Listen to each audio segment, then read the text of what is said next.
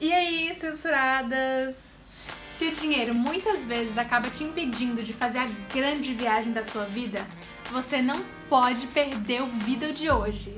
Porque nele eu vou te ensinar o que todo turista pode fazer de graça. Porque viajar não precisa ser uma coisa cara. Então, já deixa o seu like e vamos pro vídeo!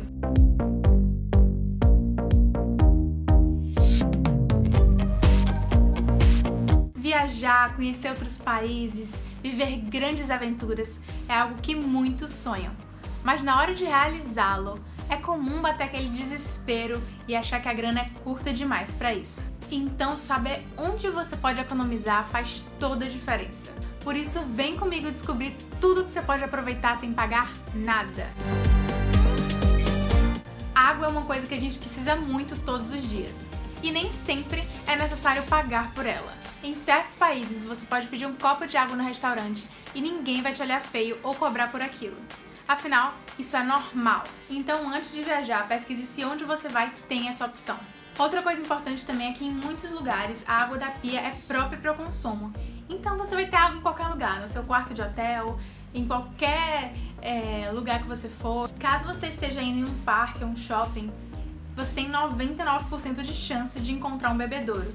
E às vezes eles não deixam você entrar com garrafa de água cheia ou bebidas e comidas, mas você pode sim levar uma garrafa vazia e sem tampa para você encher e ficar bebendo durante o seu passeio, né?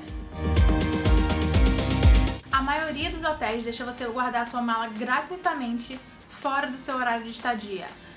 Gente, sério, eu sempre faço isso, é muito útil. Então, assim, se você chegou antes no hotel e seu quarto ainda não tá pronto, ou se você já fez o check-out, mas seu voo ainda tá muito longe do horário, é só você chegar na recepção do hotel e pedir para eles guardarem a sua mala, que provavelmente eles vão fazer isso sem cobrar nada e já vão estar acostumados com esse pedido porque todo mundo faz. Em alguns lugares, quando você pede um refrigerante, você automaticamente ganha um refil. Assim como acontece em alguns fast foods aqui no Brasil. Mas, por exemplo, nos Estados Unidos, isso vai além dos fast foods e vários restaurantes adotam essa prática. Caso seu voo tenha algum problema, como overbooking, atraso, cancelamento, você tem alguns direitos assegurados, de acordo com cada caso, lógico. Um deles é a alimentação, e você já tem direito a ele caso seu voo é, atrase algumas poucas horas.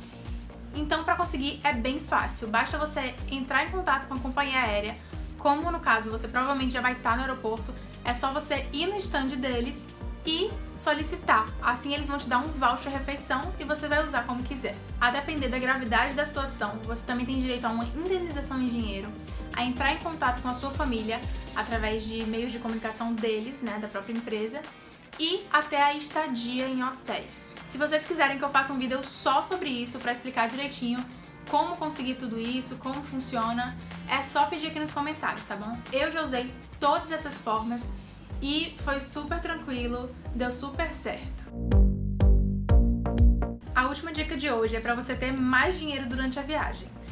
E é uma coisa que ninguém quer que você saiba, mas eu vou contar porque eu sou dessas. Enquanto você está viajando, você tem o direito de suspender alguns serviços que você paga todo mês, como por exemplo água, é, telefone fixo, celular, internet, TV por assinatura e até mesmo academia.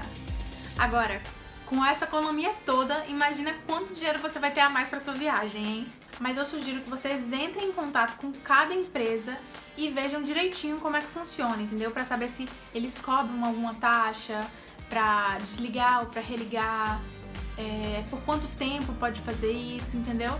Porque cada empresa tem as suas normas. E aí você vai poder analisar se vale a pena no seu caso.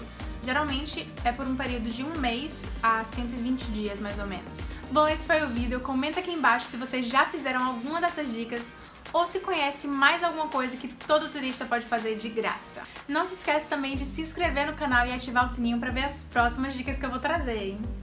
Então foi isso, um beijo e até logo!